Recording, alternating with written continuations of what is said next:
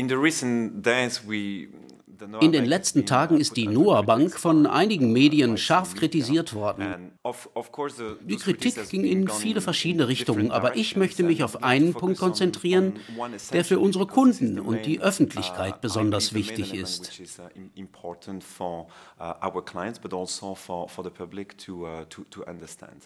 Die Noah Bank konnte letzte Woche einen fantastischen Erfolg feiern.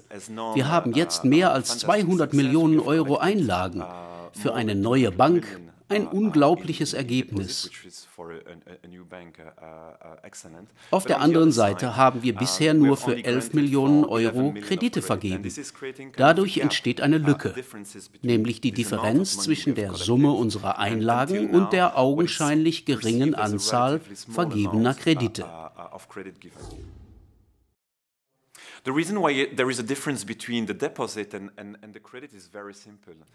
Es gibt für diese Differenz eine simple Erklärung. Ein Tagesgeldkonto ist schnell eröffnet. Die Kreditvergabe braucht dagegen mehr Zeit. Uh, uh, Wir müssen die Kreditwürdigkeit eines Kunden prüfen, sein Geschäftsmodell verstehen und entscheiden, ob er in der Lage sein wird, das geliehene Geld zurückzuzahlen.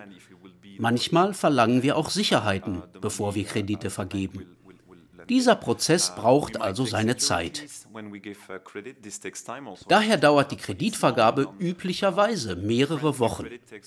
Die große Frage, die sich alle stellen, was machen wir bei der Noah Bank mit ihrem Geld? Denn da ist ja diese Lücke. Auf der einen Seite stehen die 200 Millionen, auf der anderen die 11 Millionen. Wo sind die restlichen fast 190 Millionen Euro? Genau diese Frage will ich heute beantworten.